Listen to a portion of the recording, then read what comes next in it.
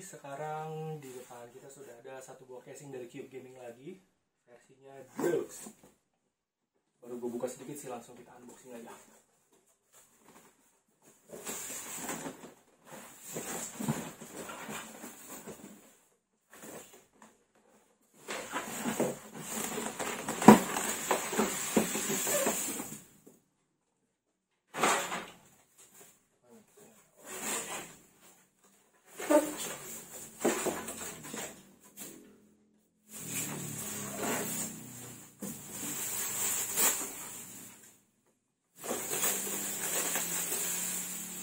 Ya, ini dia Cube Gaming Deluxe. Nanti kita langsung lihat aja lebih jelasnya. Oke, kita lihat bentukan fisiknya dulu ya. Ini bagian depannya. Ini tuh kayak semacam karet gitu deh. Size-nya ini adalah ATX salah lama kita buka dulu aja. Oh ya buat kalian yang punya casing tempered glass kayak gini ngebukanya jangan berdiri ya. Tidurin. Terus ngebukanya silang. Ngebuka dan nutupnya.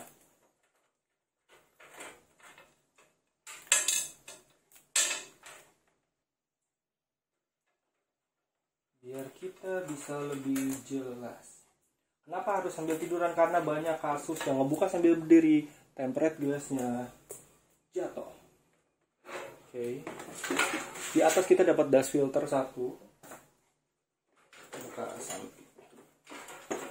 Oh, pembuka belakang ini mirip sama kayak yang di depan. Jadi harus pakai obeng.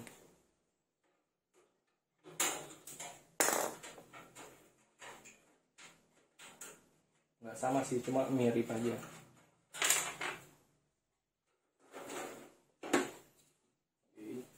ini lumayan berat ya bagian penutupnya. Di bagian belakang itu ya ini untuk kabel manajemennya. Tidak ada tempat SSD di sini. Ada tapi di bawah ya. Nah, tempat hard disk atasnya bisa SSD apakah di depan ada? Oh di depan kayaknya bisa naruh di sini di bagian alasnya sini uh, termasuk beruntung ya karena di bagian casing depannya itu kita nggak harus congkel-congkel jadi tinggal dibuka ininya aja. Jadi ngerapihin ya. Ini gampang sih. Oh ya casing yang ini tuh tersedia dua warna ya. Ada yang putih ada yang hitam. Ini yang di gua sekarang yang warna putih. Ingat sekali lagi kalau ngebuka apa pun yang punya bautnya persegi empat harus diagonal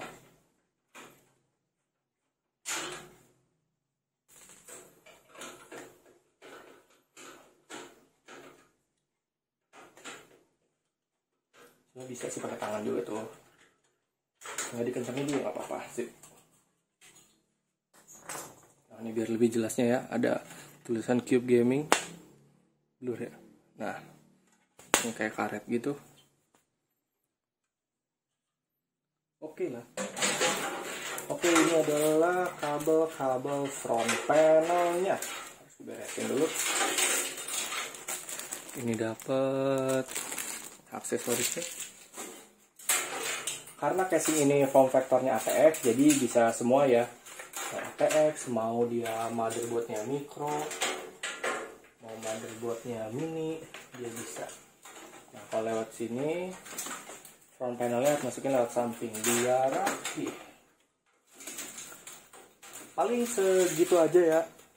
Kalau untuk casing ini dia tidak dapat fan lagi dia bener-bener pure casing doang.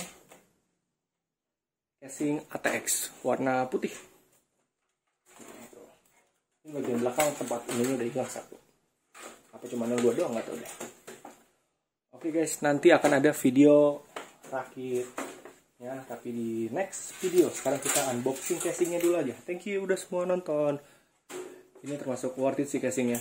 Oh iya di atasnya ada tulisan LED ada oh tapi LED-nya belah mana? Di sini gue nggak lihat ada LED-nya ya nanti kita lihat aja sudah hasilnya oke? okay?